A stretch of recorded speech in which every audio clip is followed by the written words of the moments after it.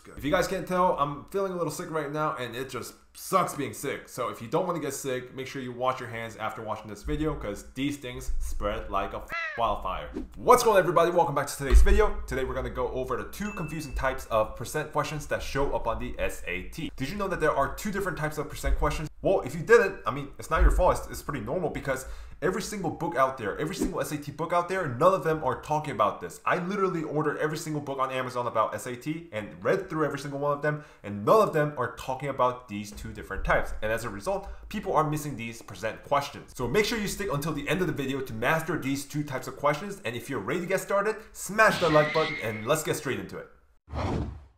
As always, we're gonna break this video down into four simple steps. First step is going to be what do these percent questions look like on the actual SAT? And second, what are these two different types of percent questions? And third, what, are, what do we have to know for these two different types of questions? And fourth, we're gonna go over a simple trick that you can use to solve every single one of these percent questions as quickly as possible and as accurately as possible. So how can we tell that we are currently dealing with a percent problem? Well, it's actually really simple. You look at the question and see if there is any kind of percent. And if you see any kind of percent, there is a very high chance that we're dealing with 8% questions. And when we're given 8% questions, there are two different types, and they are going to be finding 20% of something versus finding 20% less or more of something, okay? Those are going to be the two different types. If you understand the difference between the two types, that's great, but if not, let me explain a little bit more using a simple example. First type, finding 20% of the current population, right? Let's say you're looking for 20% of the current population. Here's what you do. Let's say this bar represents our current population, okay? And if you're looking for 20% of the current population, you're essentially just looking for this little tiny, teeny, tiny bit right here. And you're not finding this 80%, you're only trying to find this 20%. Therefore, how do we do that? We just multiply the population by 0.2 because whenever you're finding percent of something, you multiply by the decimal version of that percent. And we know 0.2 is decimal version of 20%. And if you do that, the result is going to represent the 20% of the population. Now, that was really simple, but let's go to the second type. This is where it gets a little bit confusing. Second type, finding 20% less than the current population, right? So are we looking for 20% of the current population? Mm, not really. We're finding 20% less, okay? So here's what I mean. Again, same thing. The population is represented this bar right here. And 20% is right here and 80% is obviously going to be right here. Now, if you're looking for 20% less than the current population, are you looking for this 20%? No, you're not. You're not looking for the 20%, but rather you're looking for something that is 20% less than the current population. Our current population is 100%. And if it's 20% less than current population, what you're essentially looking for is this 80% right here. So, in order for you to find the 80%, what you do is you multiply the population by the decimal version of 80%, which will be 0.8, okay? And that's coming from 80%. And if you do that, you're going to give in 20% less than current population. So what most people end up doing is they see this question and they see 20% less and they don't really understand what that really means. So they just find the 20% and they just put that as the answer. And ridiculous thing is SAT knows people do that all the time. So they put 20% as like choice like A.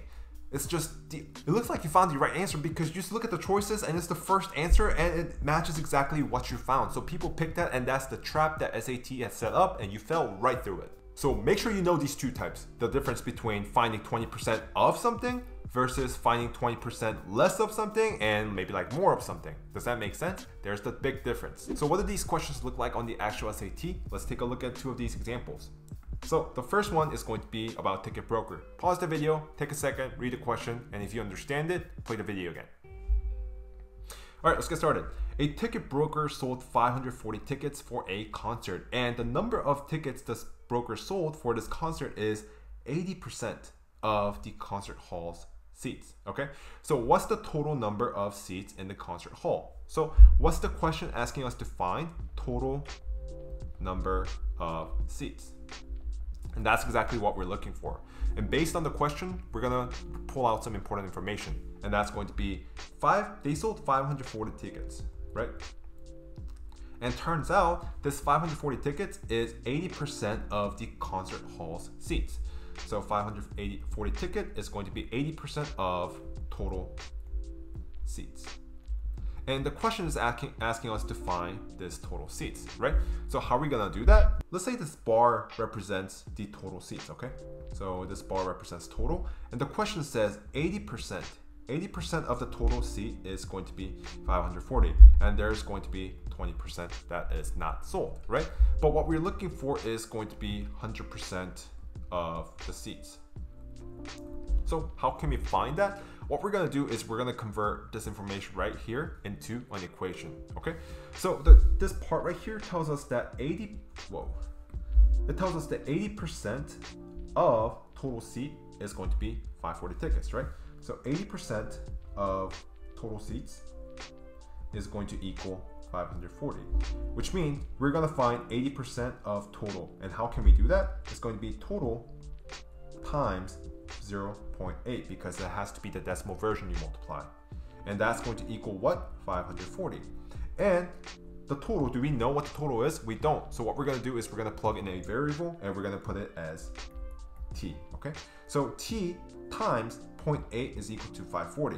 And how can we find out what t is equal to? Let me just erase that.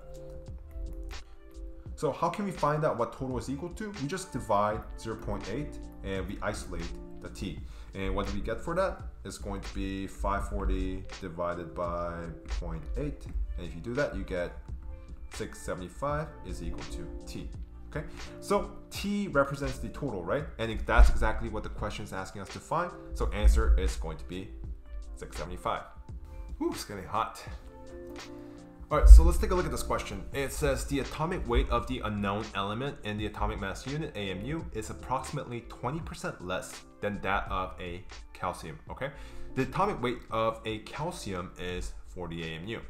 The question is asking, which of the following best approximates the atomic weight in AMU of the unknown element, right? So in this case, what we're looking for is the weight of the unknown element. So as always, we're going to write down some important information from this question. And it says the atomic weight of the unknown is going to be 20% less than that of calcium, okay? So it says AMU of unknown is 20% less than calcium. Right? And the question tells us that the weight of calcium is 40 AMU. So calcium is going to be 40 AMU. So to better understand this question, I'm just going to visualize it. And this bar represents the weight of the calcium. And weight of the calcium is going to be what? It's going to be 40 AMU. And what the question tells us is that the AMU of the unknown is going to be 20% less, right? So whatever the calcium is, if we take 20% away, that is going to be 80%, right? And that 80% is going to represent the weight of the unknown. Does that make sense? Which means in order for us to find the weight of the unknown, we have to find the 80% of the calcium's weight. So what do we have to do? We have to find 80% of calcium. And that's going to give us the weight of the unknown. And how can we exactly do that? We just convert this into an equation.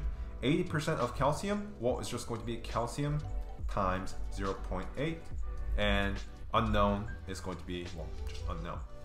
Okay, and do we know what calcium is equal to? Yes, calcium is 40 AMU. So we just put 40 right here. So if you do 0.8 of 40, that's going to give you the weight of the unknown. So if we just pull up our calculator right here, it's gonna be 40 times 0.8, and that's gonna give us 32, which means our answer, which is going to be 32. And 32 is going to represent the weight of the unknown, which means the our answer is going to be choice C. Does that make sense? If you look at the work that I just did, it was actually really simple. But why is it so difficult for some people? It's because they look at the question, they don't really completely understand what's going on in the question. They just look at it and they get a little bit confused. And what they end up doing is they see 20% right here and then they see this 40 right here and they just ask themselves, hmm, you know what, let me just find 20% of 40 because that's what SAT question SAT questions usually do. So they do 40 times 0.2. And if you do 40 times 0.2 times 0.2, you end up getting 8. And you're not really sure about whether that's the answer. But when you look at the answer choices, man, this A is like right answer right there. It's the first answer the SAT put. So you see that, you pick it, and you move on to the next question without realizing that you just got the question wrong. And if you look at the question, it's number 17. Guys, this is from section 4, and if it's number 17, it's, this question is not going to be that simple. The questions get progressively harder, and if it's number 17, it's gonna have a little bit of difficulty in it. It's not gonna be as simple as just finding 40 times 0.2. So how can you get these questions right? You have to understand what the difference is between 20, 80% of something versus 20% less of something.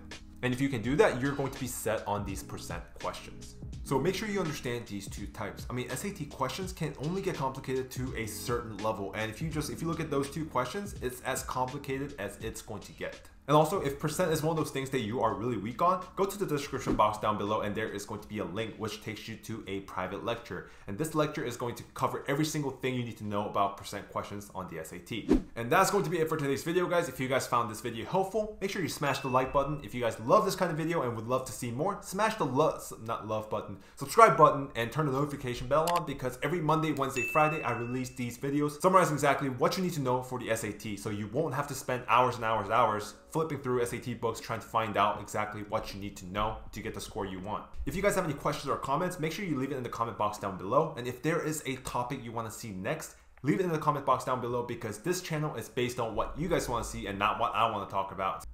Um, the video is over, so go. Bye bye. I'll see you next one.